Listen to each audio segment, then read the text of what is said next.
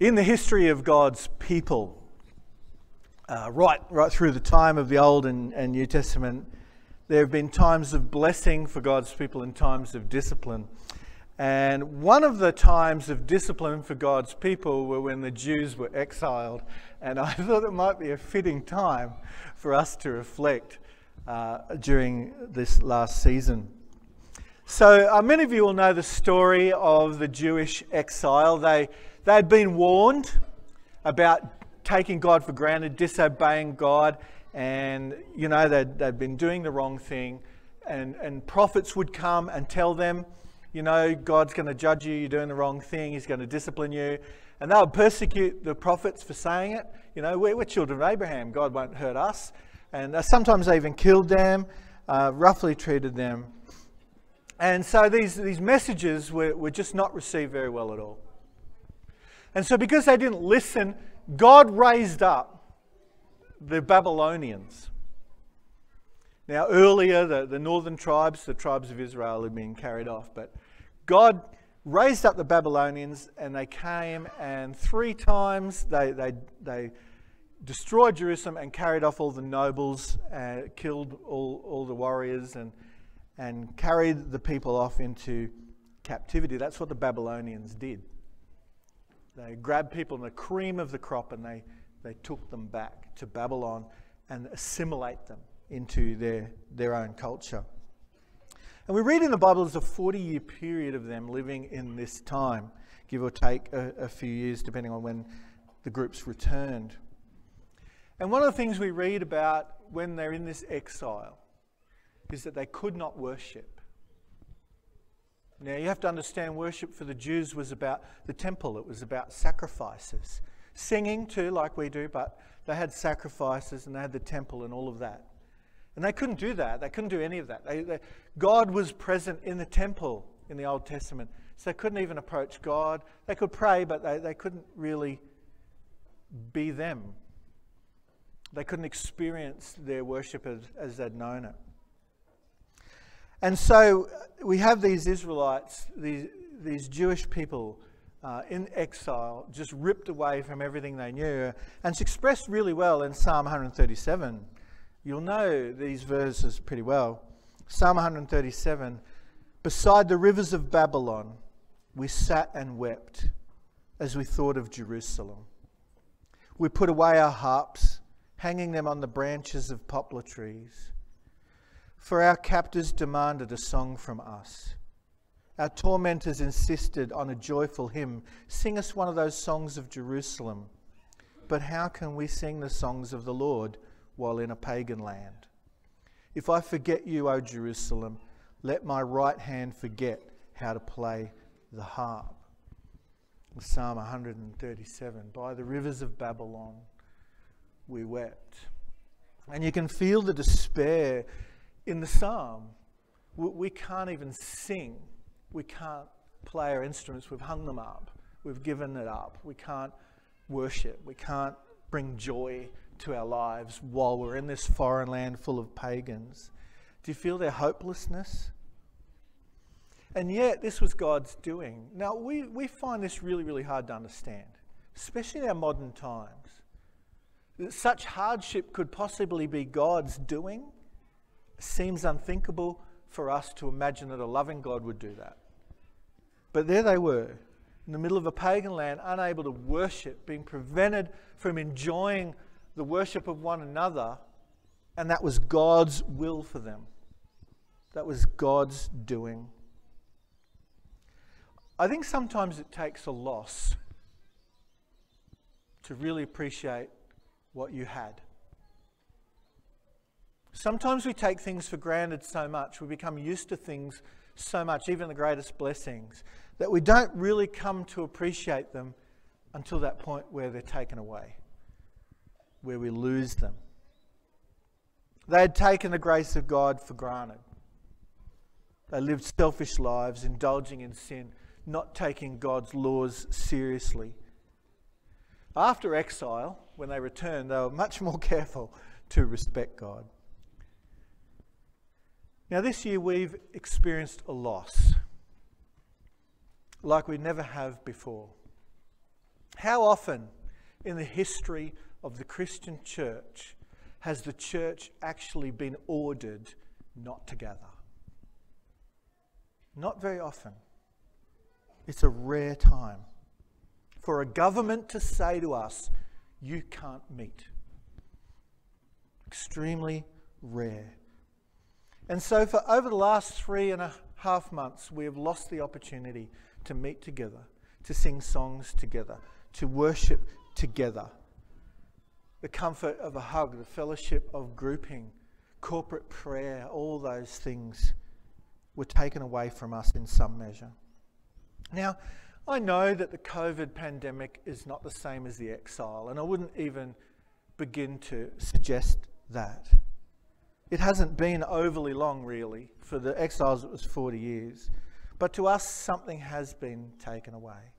Not being allowed to meet, not being able to use our spiritual gifts and serve in the normal way, out of routine. Not to mention the other things, too, like the panic buying, the not being able to find things at the shop, the, the, you know, that sort of stuff, the loss of income for some. And that's been frightening. And the fear, you know, the, these financial predictions that the world's going to crash and we're all going to go into recession, all of that's been a part of it. The fragmentation of societies, borders closed. That's never happened in the history of federation that states have closed their borders. Borders have closed, there's frustration brewing, it bubbles over into riots and, and people fragment, and it's just yuck, yuck, yuck. But in all of this, what has God been teaching us? What has God been doing? And that's why we've added this segment to our church service for the next few weeks. What has God been teaching us? Because we don't want to go through the last three and a half months not having learnt a thing. We want to capture that. And so I'm not going to go into it in great detail now, but I will mention just where we're going to be heading uh, over the next few weeks in terms of those lessons. The first one, as I mentioned, we've learn the importance of meeting together. There is something powerful in that. And we don't want to lose it. Perhaps we're taking it for granted sometimes. You know, we often hear in prayer meetings, Lord, thank you that we have the freedom to worship together. You, you often hear that prayer? Well, we didn't. Maybe we appreciate that more now. As good as technology is, there is no substitute for physical meeting. We're glad of the technology and it was helpful, but there's no substitute for physical presence. We've learned in this journey that programs are the, not the most important thing in the church, but relationships are, because programs can be taken away. Relationships are the most important thing. We've learned the, how important some aspects of church life actually are. The importance of growth groups, for one. They came right into their own in this time. Very, very important the importance of staff. You know, the investing in staff that, that we can run things. Importance of the bookstore, as we mentioned. We've learned that when our programs and service are taken away, it can reveal how strong or how weak our personal faith in God actually is. Is our relationship with God real, or do we only connect with God through the programs of the church? You'll find that out pretty quickly when you can't meet in programs together. Not only we learned some of these lessons, but we've also seen clearly how God actually prepared us in advance for this. Very early on, the leaders sat down and we went through all of the decisions we've made in the last 18 months and watched how God has actually prepped us for this time. For example, mid year retreat last year, the elders and leaders, we had a retreat in the middle of the year and we made some decisions about some certain things. One of those decisions was the importance of the bookshop. Now, the bookshop as a business doesn't run overly well, it doesn't always break even. And we made a decision back then that we would make it not fail. We would support it no matter what as a ministry to the town. What a good decision that was, not to close it or do anything like that, because in hindsight, how valuable it's been. Then Jessica resigned toward the end of last year and it threw us up, but our decision to put Jared on was the exact right one for this time. I don't know if there's anyone that could have done it like Jared has done it. I work with him every day watching what he does, and I can tell you that we would have been stuck if it wasn't for him, and God set that in motion earlier. Also, at the beginning of this year, rather than embark on any big project, we decided as a leadership team this will be a year of rest and consolidation. So it's really cool because we've got nothing to lose. We've lost nothing because we didn't plan anything anyway. And the stuff that we were planning to do can all be done um, in, in the office environment. So can you see? Can you see that God see God saw this coming? And he, he moved us as a leadership team to make certain key decisions that would ensure that when this time did come, things would be okay. Many of the pastors I've spoken to over the time, I'll tell you what, I've had so many Zoom meetings, I'm sick of looking at screens, I've got to tell you. But I've met with a lot of pastors over this time, senior pastors from around the country, and they're all saying the same thing God is up to something. God is doing something around the world with His church. He's shaking us up, He's shaking up the world and He's preparing us for something. God is on the move and something is going to happen and he's he saw this coming he knows what's going to happen and he's preparing us for something. This is why the church around the world seems to be at peace. Whenever i talk to people you know who, who are involved in church they're not worried really. There's a sense among us that god is doing something here. Something God is, it's all okay. Many, many of you that I talk to, there's peace in you. God is preparing something. As I meet with our leadership, and we've kept meeting, we, we hadn't stopped over the time, there's enthusiasm and anticipation and peace among them, among our leaders. They just know that God's in control. Something's happening. There is frustration, I'll admit that. But there is peace with God because we know He's up to something. Because in the middle of turmoil, God speaks. And that's our question. What is actually God saying? What has God been saying?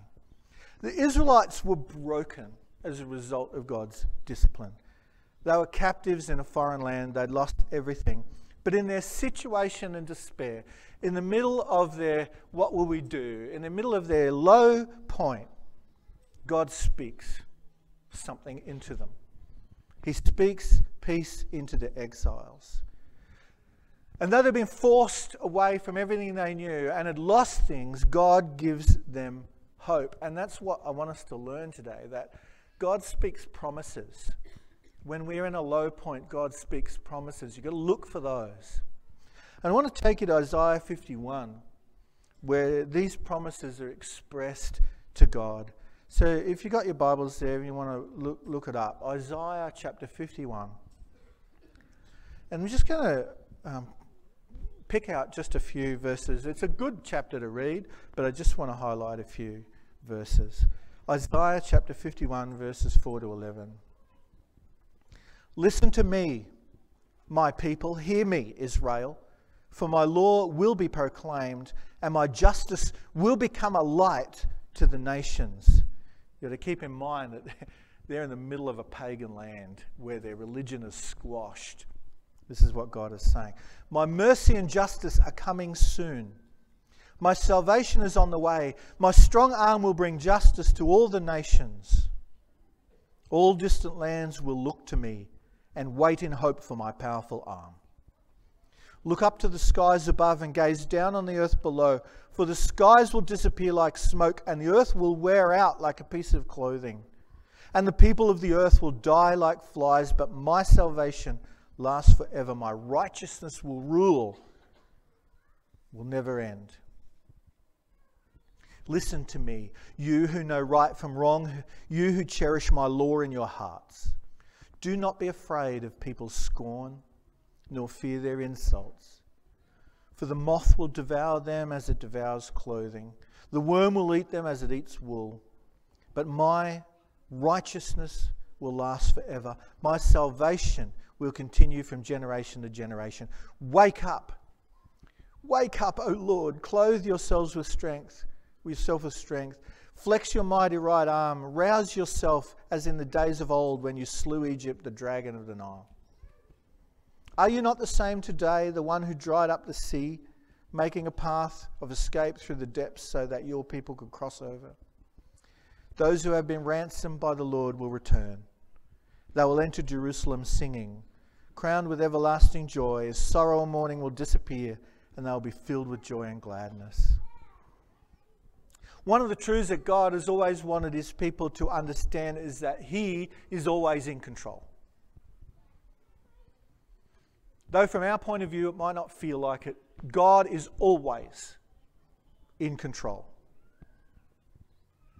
You see, because we, we measure everything by the immediate, what we're going through, what we're feeling. How do I feel about this season? But God is in control of all that. He sees it, even though we don't. The funny thing is, our mood about God can change several times a day depending on where, what we're feeling. God is way more constant than that.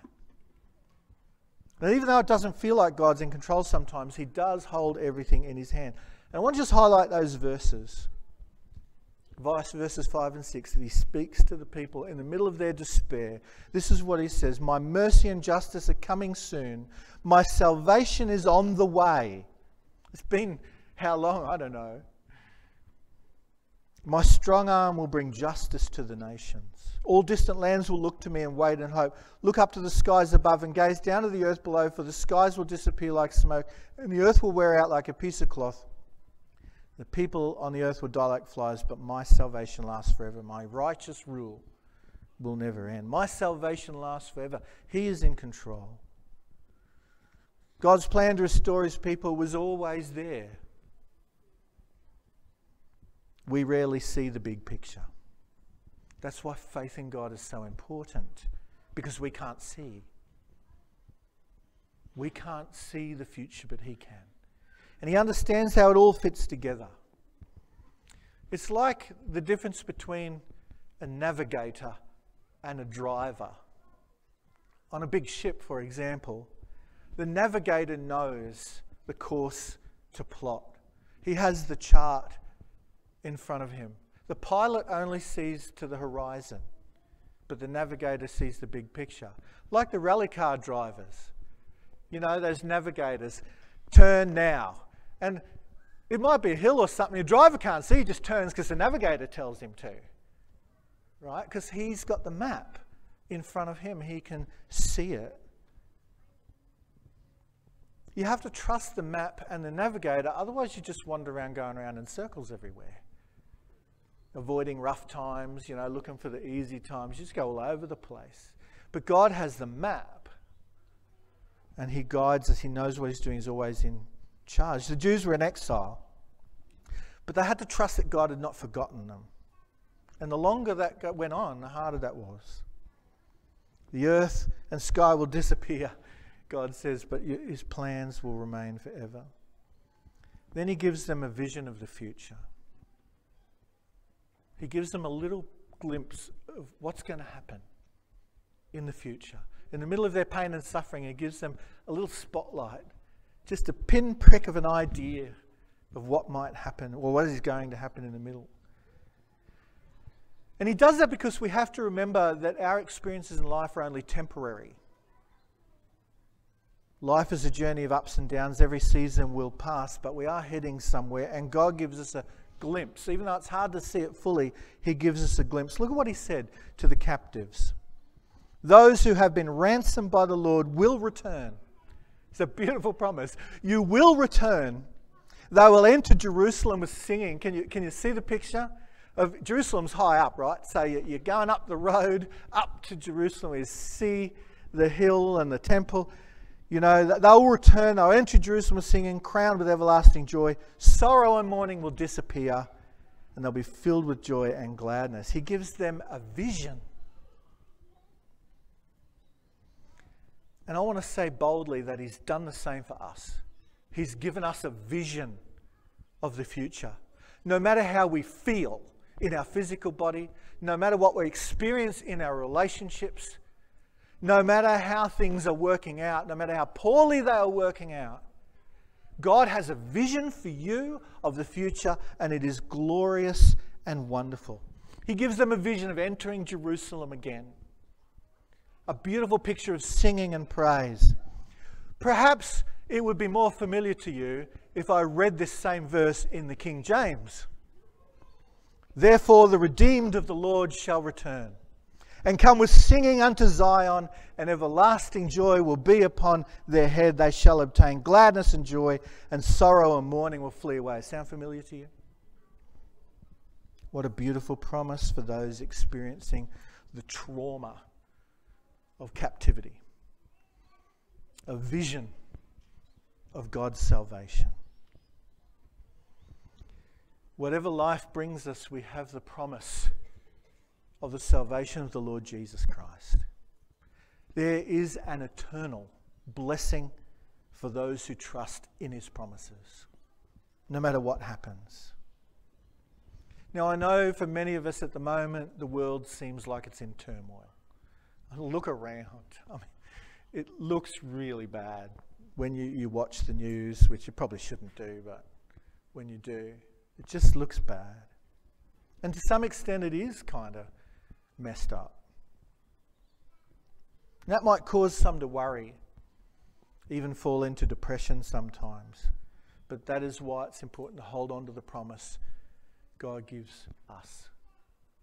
Like the exiles in Babylon, God also gives us a vision of the future. I want to read it to you in Revelation chapter 21. Then I saw a new heaven and a new earth. For the old heaven and the old earth had disappeared, and the sea was also gone. And I saw the holy city, the new Jerusalem, coming down from God out of heaven like a bride beautifully dressed for her husband. I heard a loud shout from the throne saying, Look, God's home is now among his people. He will live with them, and they will be his people, and God himself will be with them. He will wipe every tear from their eyes there will be no more death, or sorrow, or crying, or pain. All these things are gone forever. And the one sitting on the throne said, Look, I am making everything new. And then he said to me, Write this down, for what I tell you is trustworthy and true. And he also said, It is finished. I am the Alpha, the Omega, the beginning and the end. To all who are thirsty, I will give freely from the springs of the water of life. All who are victorious will inherit all of these blessings, and I will be their God, and they will be my children. That is God's glimpse for us, a picture of the future that we can hang on to. It might feel like we're in exile of some kind, trapped here in physical bodies that get old, in a world where society is going all messy feel yuck in it.